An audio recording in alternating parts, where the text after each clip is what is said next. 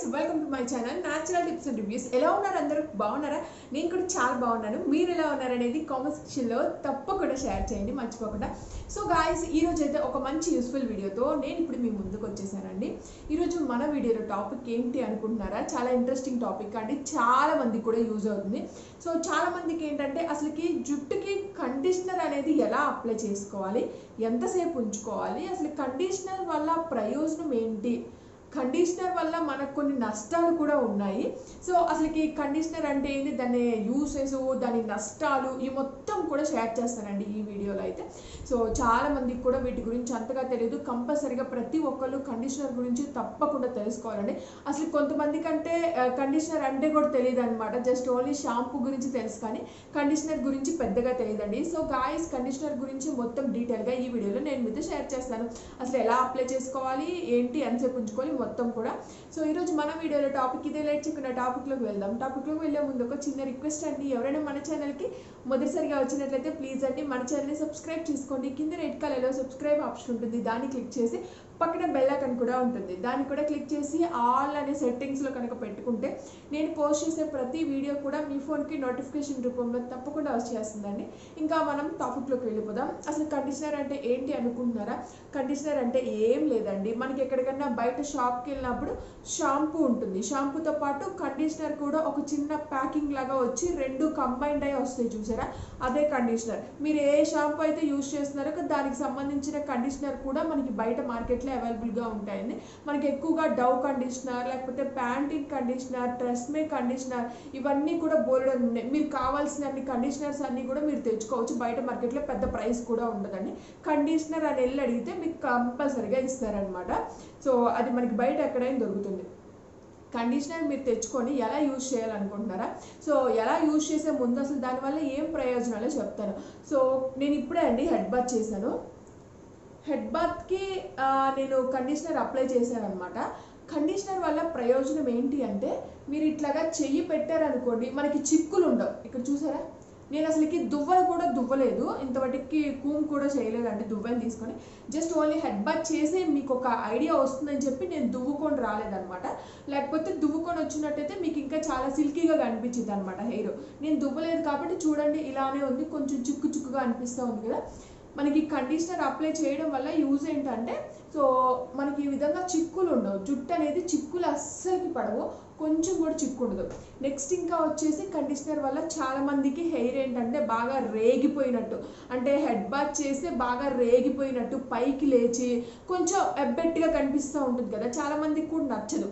So అలాంటప్పుడు ఏంటంటే మీరు కండిషనర్ కనుక యూజ్ చేసినట్లయితే మీ హెయిర్ అనేది అలా పైకి లేచినట్టు ఉండకుండా కొంచెం అణిగి ఇట్లా జస్ట్ కొంచెం అణిగినట్టు ఉంటుంది. హెడ్ బాత్ చేసినా కానీ మనకి కొంచెం ఆయిల్ పెట్టుకుంటే ఎలా ఉంటుంది? జుట్టు పైకి లెగవకుండా సేమ్ అట్లానే హెడ్ బాత్ చేసిన తర్వాత కూడా మీకు హెయిర్ మొత్తం డ్రై అయిపోయిన తర్వాత కూడా మీ జుట్టు అనేది అణిగిపోయి ఉంటుందనమాట ఇంకా వచ్చేసి మనకి చాలా గ్లోయింగ్గా అంటే మెరుస్తూ ఉంటుంది హెయిర్ అనేది. హెడ్ బాత్ చేస్తే ఎలా ఉంటుంది మన హెయిర్?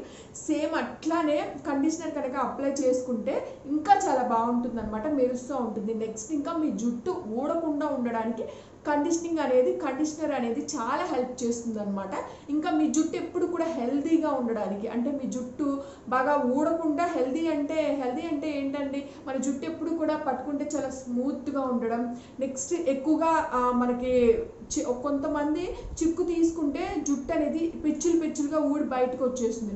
అలా కాకుండా మీరు కండిషనర్ ఎప్పుడైతే అలవాటు చేసుకుంటారో మీ జుట్టు చాలా వరకు కూడా ఊడటం తగ్గిపోతుంది. ఇంకా మీ హెయిర్ ఎక్కువగా మంచిగా అసలుకి మెరుస్తూ ఉంటుంది అనమాట చాలా సిల్కీగా స్మూత్గా ఉండడానికి కండిషనర్ అనేది హెల్ప్ అవుతుంది. సో కండిషనర్ వల్ల యూసెస్ అయితే ఇవ్వండి. సో ఇప్పుడు కండిషనర్ అనేది ఎలా అప్లై చేసుకో చూపిస్తాను. యాక్చువల్గా కండిషనర్ ఏ కండిషనర్ అయినా కానీ వైట్ కలర్లో ఉంటుందండి.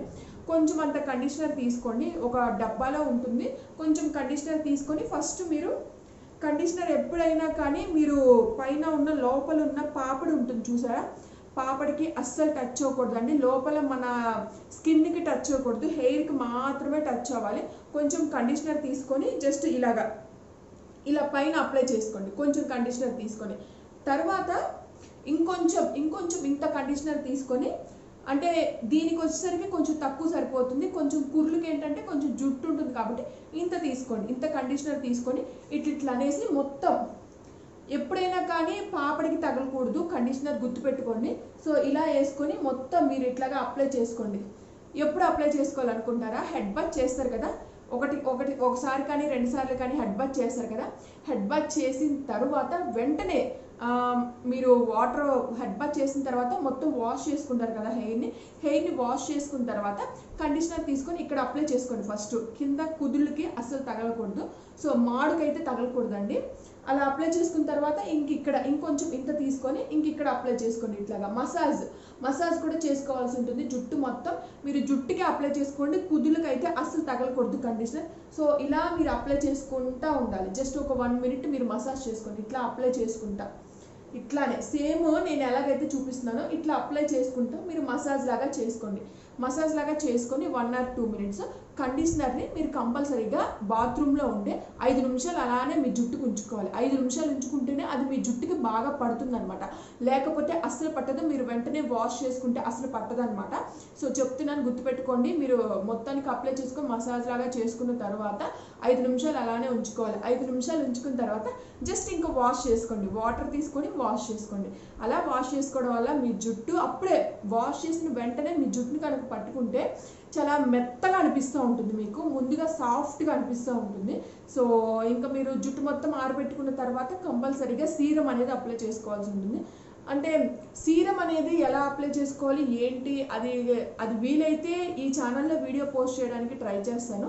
లేకపోతే పైన నేను ఐకాన్ దగ్గర ఒకటి వీడియో అనేది పెడతాను. సీరం అనేది ఎలా అప్లై చేసుకోవాలి ఏంటి అని చెప్పి నేను శ్రావస్ బ్యూటీ అండ్ హోమ్ ఛానల్లో చేశాను.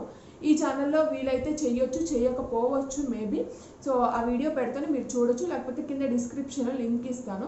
కండిషనర్ అయితే అలానే అప్లై చేసుకోవాలండి. బట్ ఐదు నిమిషాల కంటే ఎక్కువసేపు మీరు కండిషనర్ని ఉంచుకోకూడదు అనమాట ఉంచుకున్నట్లయితే మీ జుట్టు ఊడిపోతుంది. దీనివల్ల ఎన్ని ప్రయోజనాలు ఉన్నాయి? అంత నష్టాలు కూడా ఉన్నాయండి. మనం యూజ్ చేసే రీతిలో మాత్రమే యూజ్ చేయాలి. లేకపోతే మీరు కనుక ఆహా ఐదు నిమిషాలు ఉంచుకుంటేనే ఇంత బాగుంటుంది. జుట్టు పది నిమిషాలు ఉంచుకుంటే ఇంకెంత బాగుంటుందా? అని చెప్పి చాలామంది అనుకోవచ్చు.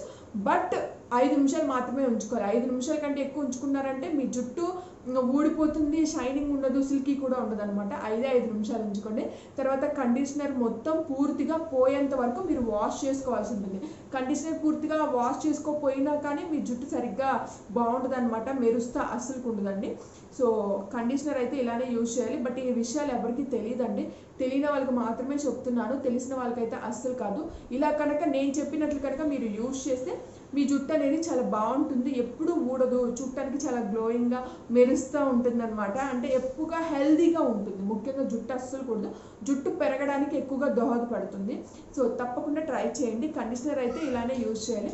సో మీకు ఈ వీడియో నచ్చితే లైక్ చేయండి షేర్ చేయండి సబ్స్క్రైబ్ కూడా చేసుకోండి.